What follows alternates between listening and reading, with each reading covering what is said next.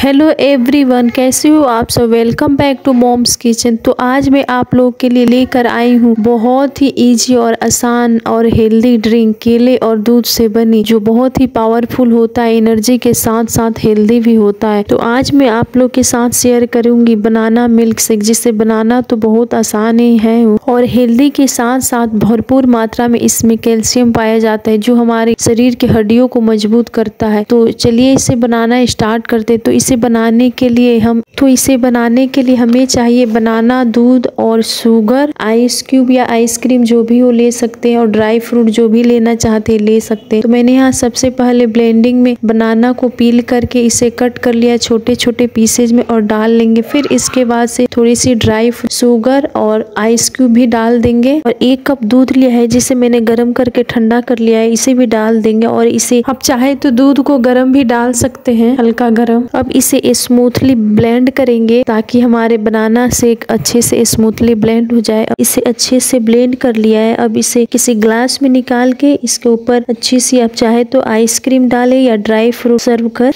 इसे आप खाएँ। ये ना शेक बहुत ही हेल्दी और बहुत ही एनर्जी ड्रिंक हमारा बन के तैयार है। तो आप इसके ऊपर ड्राई फ्रूट या आइसक्रीम जो भी हो उसे डालकर सर्व कर इसे इस ड्रिंक को पिए। वैसे तो बहुत ही हेल्दी होता है। कुछ बच्चे दूध पीना पसंद नहीं करते सकते हो। तो आप इस तरीके से बनाना मिल्क शेक बनाकर बच्चों को देख सकते हैं। एक तो इससे जल्दी भूख भी नहीं लगेगी और एनर्जी ज़्यादा देर तक बनी रहेगी। तो ऐसे करके अपने बच्चों को भी दे सकते हैं और इससे बच्चों के ग्रोथ में भी हेल्प करता है। तो ये बहुत ही हेल्दी और एनर्जी ड्रिंक है और ये हम सभी के बॉडी के लिए बहुत ही फ़ायदेमंद तो होता ही है। साथ ही साथ लंबे समय तक एनर्जी भी रखता है। तो हम इस तरीके से बहुत ही आसान और जल्दी तरीके से अपने घर पर ही बनाना मिल्क शेक बनाकर पी सकते हैं। तो आप भी अपने घर पर ही इस आसान तरीके से बनाना मिल्क शेक बनाइए और एंजॉय करें। तो अगर ये वीडियो पसंद आए तो हमारे वीडियो को लाइक शेयर कमेंट और चैनल को सब्सक्राइब ज़रूर करें। और आप भी ज़रूर ट्राई करें ऐसे milkshake banana. Thank you for watching